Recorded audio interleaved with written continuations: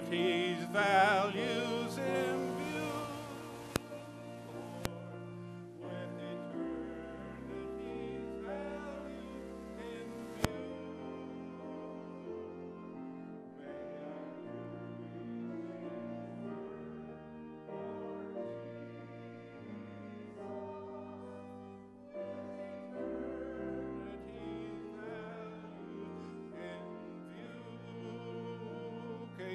refresher course. Let's stand up and we'll sing it together twice.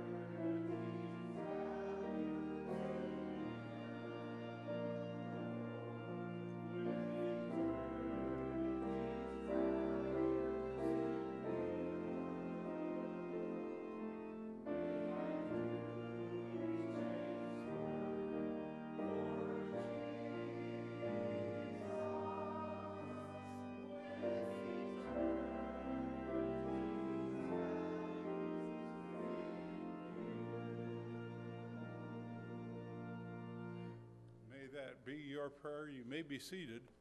As I was looking this up, I found out I was one year old when this was written. So this has been around a long time, Pastor.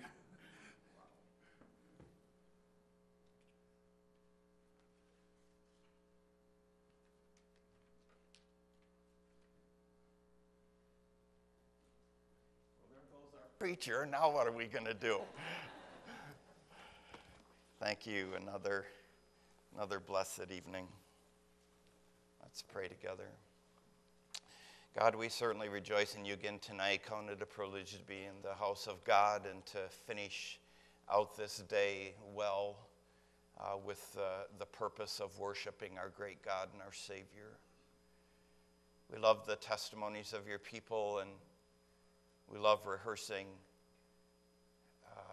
that point in time in our, our lives when we saw our desperate need of Christ because of our sin and called on that most wonderful name and trusted in this one who loved himself lo- loved us and gave himself for us. And and uh, of course it's the, the living Christ who offers to us salvation and and then um, you absolutely transform our lives and we rejoice over these things. No wonder the prophet isaiah wrote i will greatly rejoice in the lord. My soul shall be joyful in my god for he hath clothed me with the garments of salvation. He has covered me with his robe of righteousness. It's the greatest thing in all of life. And then we've sung together, and uh, we have been blessed and challenged by such, and certainly appropriate uh, that we would, uh, with our last song, be reminded of how important it is that we live our lives now with a view to eternity and what will count therein. And so that is a good segue into our study of the Word of God. And we're reminded uh, every time we open up the pages of the book that this is one of the very unique and special ways in which we can communicate our love to you, and that is by being good students of the Word of God and especially having hearts that beat after your truth and desire to incorporate into our lives um, what you have shown us.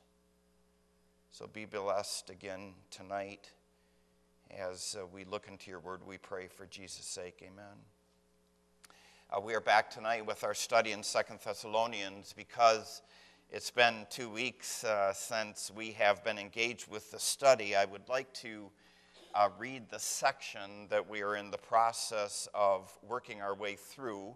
I am referring to Second Thessalonians chapter 2, verses 1 through 12. So find that if you would please, and then follow along as I read Second Thessalonians chapter 2, uh, verses 1 through 12. Now we beseech your brethren by the coming of our Lord Jesus Christ and by the gathering together, our gathering together unto him, that ye be not soon shaken in mind or be troubled neither by spirit nor by word nor by letter as from us, as that the day of the Lord is present. Let no man deceive you by any means, for that day shall not come except there come the falling away first, and that man of sin be revealed, the son of perdition, who opposes and exalts himself above all that is called God or that is worshiped, so that he, as God, sits in the temple of God, showing himself that he is God. Remember ye not that when I was yet with you, I told you these things. And now you know what restraineth that he might be revealed in his time. For the mystery of iniquity doth already work. Only he who now hinders will continue to hinder until he be taken out of the way and then shall that wicked one be revealed, whom the Lord shall consume with the spirit of his mouth, and shall destroy with the brightness of his coming, even him whose coming is after the working of Satan with all power and signs and lying wonders, and with all deceivableness of unrighteousness in them that perish, because they received not the love of the truth that they might be saved. And for this cause God shall send them strong delusion that they should believe the lie, that they all might be judged who believed not the truth, but had pleasure in unrighteousness. Uh, God has been teaching us not just broadly about the tribulation period, but specifically about the man of sin who runs wild in it. We are learning, have been learning, and will continue to learn about the Antichrist. I remind you that with a view to the tribulation period, that you and I will not be here. Everyone who has put their faith and trust in Christ since the day of Pentecost will be snatched out of here. Uh, it's called the rapture. And as the church is snatched out, so too will the restraining ministry of the Holy Spirit of God and that paves the way for the seven year tribulation period, the beginning of which is marked by two events one, the apostasy, the turning away, the falling away, and two, the revelation of the man of sin, the Antichrist. Now, we've covered quite a bit of biblical turf in regard to him. Uh, we left off our study with verse 9. We made some observations there. Let me remind you of that, even by way of rereading. Verse 9 even him whose coming is after the working of Satan with all power and signs and lying wonders. When you first read that, it probably uh, frightens you a little bit, and it probably should, because it is a retestament to the power of our spiritual enemy. We know and we're glad for this, and we've been reminded of it really throughout the course of the day that Satan exercises only under the sovereign and controlling hand of God. And yet, we have been prompted in the past and continue to be prompted time and time again and impressed with the fact that our spiritual enemy is very, very powerful. He is the strong man. And yet, greater is he that is in us than he that is in the world. But it's frightening as you read a verse like verse 9. We noted a number of things with verse 9, including the fact that Antichrist is the full manifestation of Satan.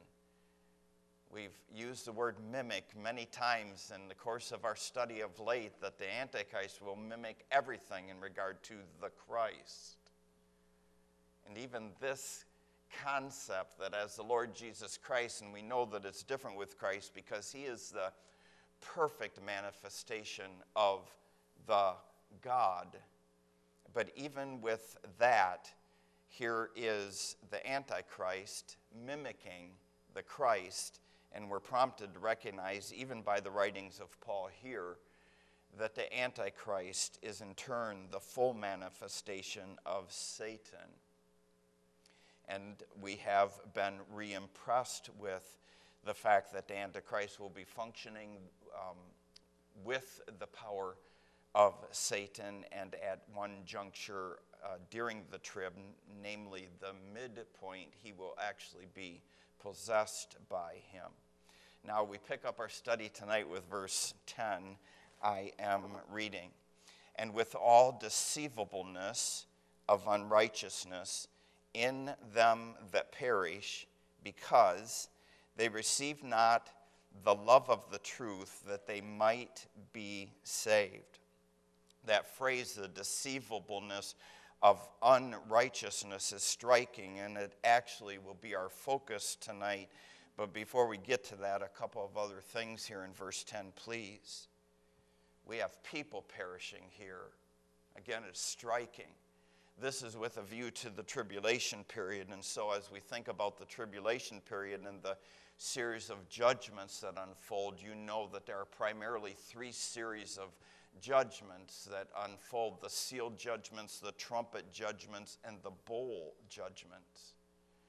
And you know that these judgments are devastating in character, and you are aware of the fact that many people perish during the tribulation period. Paul is reminding us of that. You might be interested in these stats. The sealed judgments are the first of the judgments that unfold. They take place early on um, with the tribulation period. And we know, according to Revelation chapter 6 and verse 8, that the sealed judgments result in the death of one quarter of the population of the world. It's hard for us to wrap our minds around that. And here's a statistic for you if there are 7.5 billion, and we're growing, by the way, but if there are 7.5 billion people in the world, then that means 1.88 billion people are killed with just the sealed judgments. And then, as you continue to follow that through the book of Revelation, that's again at the early stages of the tribulation period. And then when you arrive at the sixth trumpet judgment, you can read about that on your own in Revelation chapter 9 and verse 18. You have another 1.85 billion people that are killed, which comes to a total of 3.7 billion, which is half of the world's population. Say goodbye to half of the world's population. And that's not even counting the bowl judgments, which a strong case could be made for them being the most severe of the judgments. It is, by the way, I have an interesting, by the way, for you, and you'll certainly relate to this. In fact, I will frustrate you in just a moment because you'll want to tell your story, and I'm not going to let you. One of the judgments uh, that take place near the end of the tribulation period the, the bowl judgments is that people will be killed with, this is interesting in light of God's message to us this morning. People will be killed with, with tremendously large hailstones. The biblical word is a talent, and scholars will, you know, um, suggest to you that that's somewhere between 75 and 100 pounds. Can you imagine being hit with a 75 to a 100 pound hailstone. How many of you remember the hailstorm that we came through a couple of years ago? And this is where you're going to be frustrated because I'm telling you my story and I'm not letting you tell yours. Because I, I got to be to bed before midnight. Anna and I were coming through town um, to church and wow, the, it just is such a vivid picture in our minds. And again, you'll be able to relate to this with your own personal story. But we were coming down Main Street, and all of a sudden, we're looking at all of the flags that are on the sides of both of the roads. And I mean, they're just ready to come flying out of there. And, the, and, and it got so dark, I was impressed with the darkness. And then all of a sudden, we started hearing hailstones. We heard them before we identified what they were and they started out probably about the size of a pea, and then they became the size of a dime, and then a nickel, then a quarter, then a golf ball. and then the one that broke through our back window and through and, and, and flew through the length of our Acadia and landed on the dash of our vehicle was the size of a hardball, a baseball. And I remember after that was done and we were here, we were licking our wounds and everything and praising God for his provisions and everything, but I, I was here and, and I didn't have all my windows kind of thing. And, you, and some of you lost your, your vehicles and, and some of you had hailstones. This is amazing to me. And again, it re- re- reflects back on God's message to us this morning. Some of the hailstones were coming down so fast and were so big that they literally ripped through your roof. I saw personally metal roofs where the hailstone had come right through the roof. Amazing. The bowl judgment, where hailstones are falling,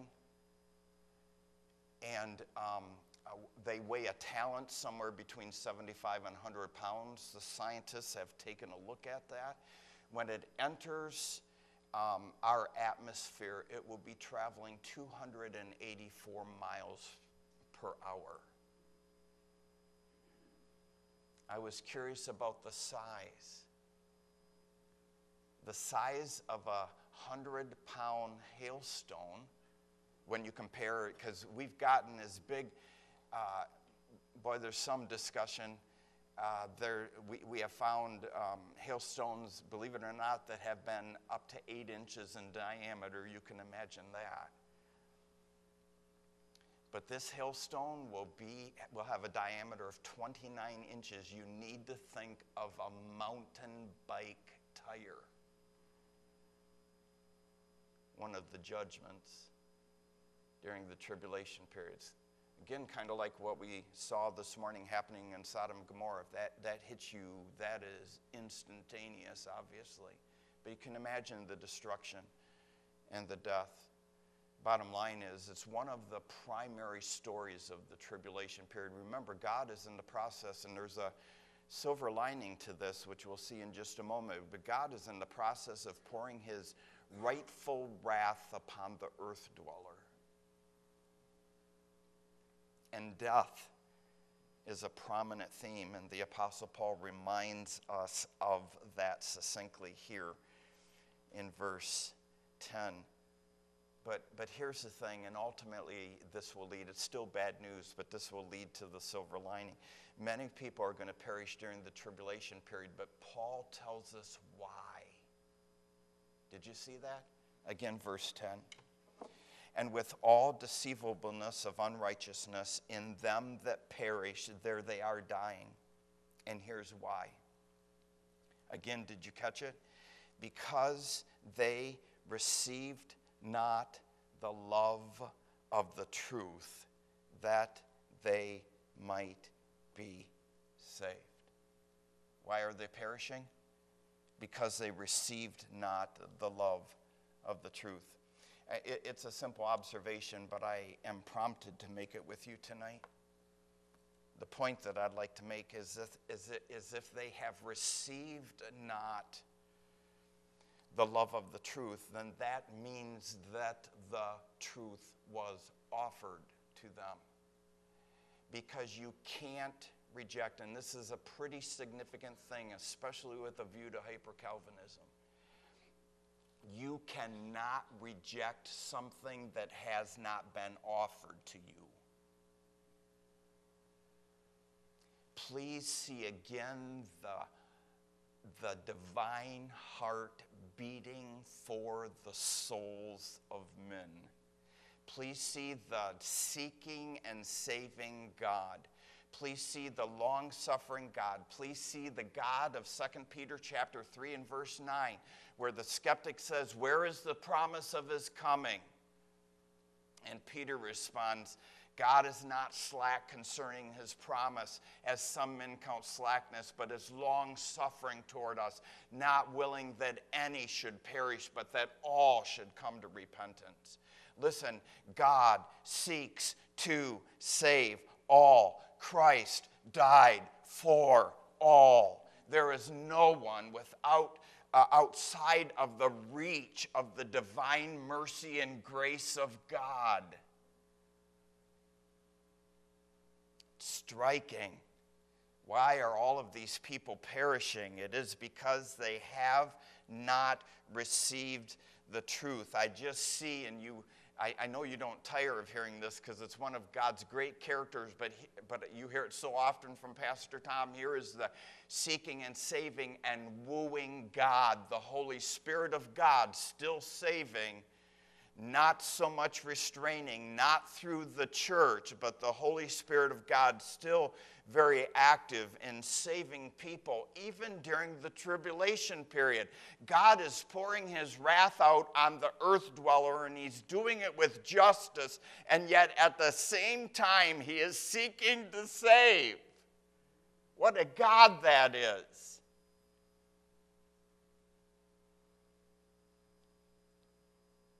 And he has a powerful twofold witness. And, well, this is good news for you. It's not you.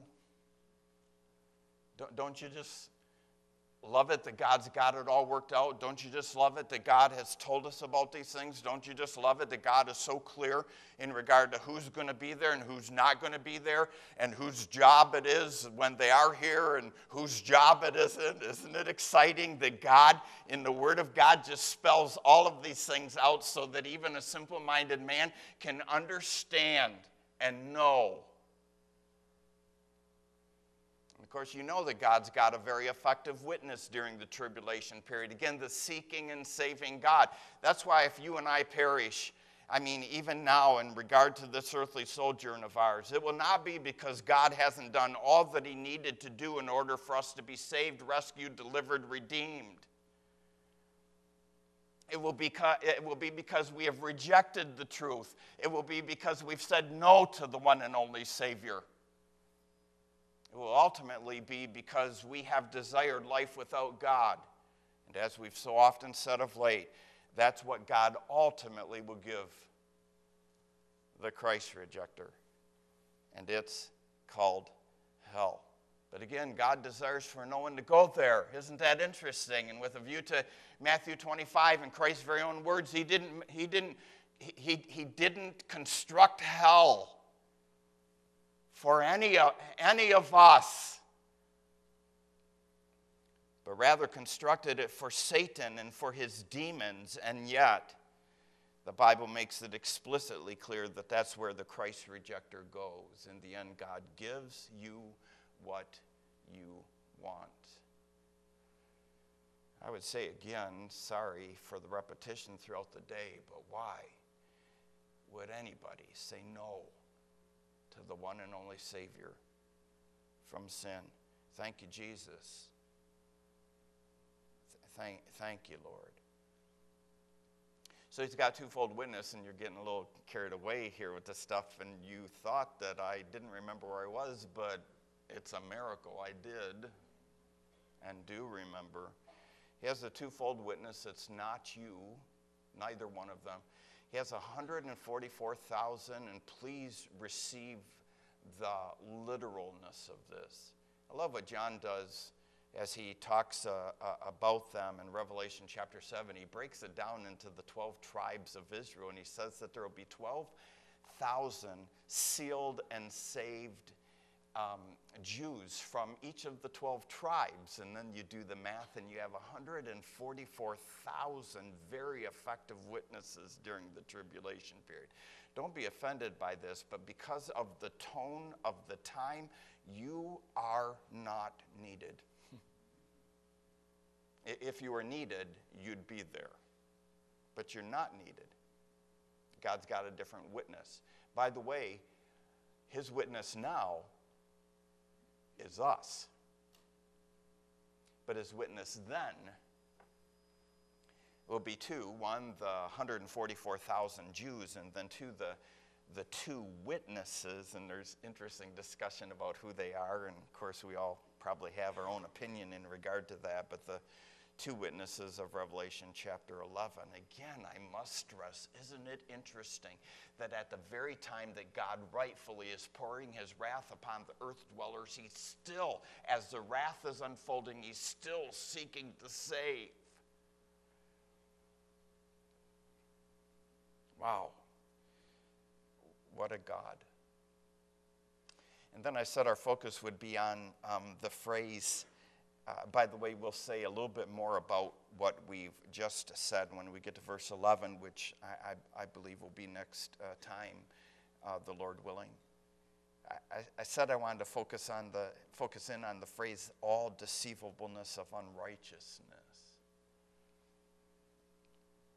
Paul is succinctly stating what man gets from Satan now and what the Antichrist will give to man then. Nothing but deception. People in mass will be deceived during the tribulation period. We've been coming to grips with that. We've already noted, for instance, that Israel, and my heart breaks in regard to this because I, I have listened to recordings and videos of uh, of Jews um, communicating their passion concerning the Messiah, the coming of the Messiah. And of course, we know that, that, the, that the nation at large is, is pretty much ready for him. And we talked a little bit about even some of the practical and logistical and physical preparations that they've already made in regard to that. I, I, think I mentioned this to you, but Dr. Jimmy DeYoung was interviewing uh, a man from the tribe of Levi, and he was telling uh, Jimmy DeYoung that he's not only been fitted for his priestly garment, but that the priestly garment is hanging in his closet, and he anticipates that he'll be putting it on before too long. Israel will be certain that she has her Messiah. And the world at large will be certain that she has her Savior. But again, who she gets is the Antichrist. I didn't know whether I'd be reading you a bedtime story or not, but I, I, I brought my book and uh, have this uh, paragraph that I'd like to read for you. By the way, um, this comes from Countdown to Armageddon. It's uh, edited by uh, Charles Ryrie, um, features a lot of um, today's experts uh, dealing with prophecy. And this particular chapter was written by uh, Thomas Davis, and uh, I just wanted to read this short paragraph to you. He's speaking of the Antichrist. The title of the chapter is called The Abominable Antichrist. L- listen to this. The Antichrist will strive for unity with a one world religion, one world economic system, and one world government. In an effort to bring the whole world under satanic domination, the Antichrist will manipulate men through religion, economics, and government. It's fascinating. This is what I wanted you to hear. It's fascinating to note the desperation of 20th century man as far back as the 1950s Listen, in October 1957, the year some of us were born, Paul Henri Spaak, Secretary General of NATO, said this in Paris. I'm quoting. I can't believe anybody, I, I can't believe anybody would say this, especially a prominent political figure. He said this back in 1957. We do not need another committee. We have too many already. What we want is a man of sufficient stature to hold the allegiance of all people and to lift us out of the economic uh, morass into which we are sinking. Send us such a man, and be he God or devil, we will receive him. Can you imagine a public proclamation like that? Going all the way back to 1957 the dark ages. Remember that what Paul said a little bit earlier in verse 7 for the mystery of iniquity doth already work. Remember one of the practical applications we made of that that it, it, appears that Satan has always had somebody ready to go. Satan has always had somebody ready to go. I'm glad he doesn't know everything about God's plan. I'm very glad about that. But he knows a lot of things. And again, it's, it, it is amazing to me that he's always had somebody in place ready to go, which makes the answer to the question do you think that the Antichrist is already alive interesting? Because the answer to that question may have been, since the time of Paul's writing, always yes. But we move from one potential Antichrist to another potential Antichrist to another potential Antichrist because Satan, although he knows a lot, he doesn't know everything, and so he's always has he always has to have a man ready. So people in mass will be deceived. Again, this striking phrase, all deceivableness of unrighteousness. People in mass will be deceived during the tribulation period. Israel will be certain she has her Messiah. The world, the world will be certain that she has her Savior. But can I step back from that for just a moment so that we, we have a very uh, personal application of these things? I know I'm not telling you anything new, but it, it certainly is a good reminder th- this is absolutely true today. It's not only going to be true in that day, in that day which is yet to come, that people will be deceived in mass. It's, it's also true this very day. And it gets even a little bit more frightening when we recognize that, again, in measure, that has application to us even as God's people.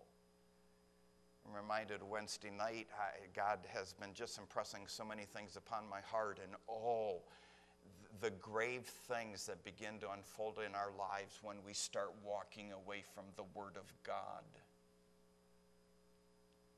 Know how quickly we can be deceived. The world is deceived. And by the way, and we'll say more about that in just a moment if we have it, which I don't think we will.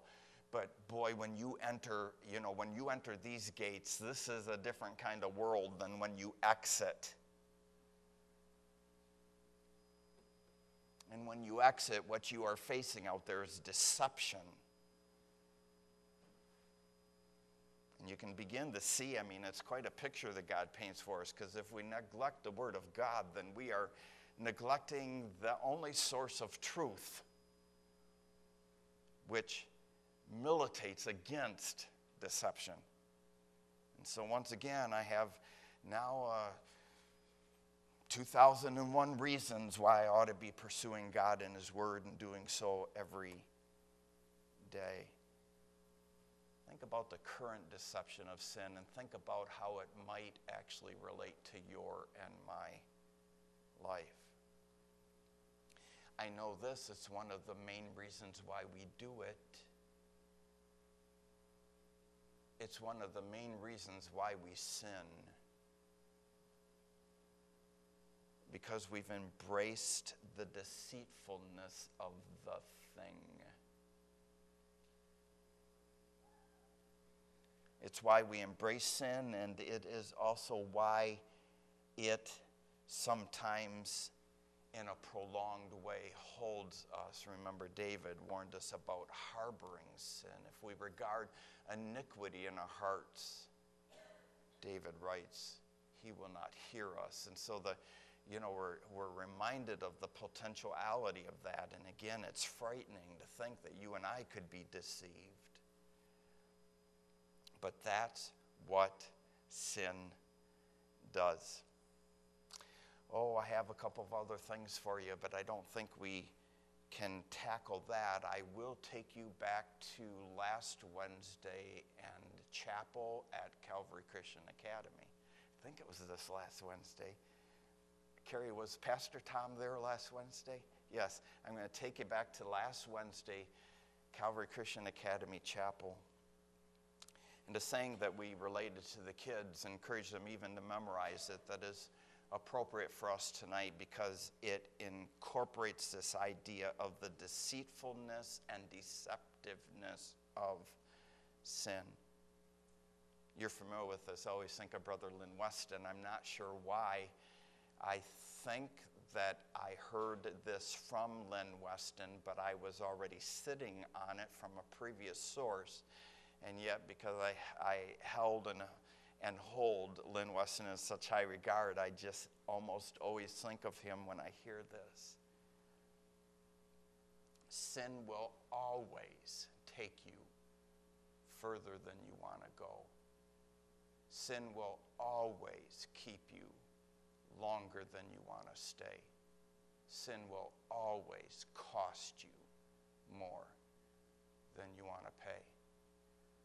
Told our students, and some of them are pretty young, I said, Oh, God has given us so many different motivations to not sin. And this is one of them tonight the deceitfulness of sin. Don't buy into that. God help us. Let's pray. Lord, thank you for these considerations. We love our study. We, we love what you're teaching us. We love what the Word of God reveals to us. We, uh, even though the details are tough, we, we have appreciated learning about the tribulation period broadly and specifically the Antichrist. And in, in the end, you, you have impressed us with what will mark that day in a full way, and that is deception, the deceivableness of unrighteousness. And yet we're prompted to recognize that that not only will be true in that future day, but there is in measure application of that to us today. So continue to impress these things upon our hearts, we pray, for Jesus' sake. Amen.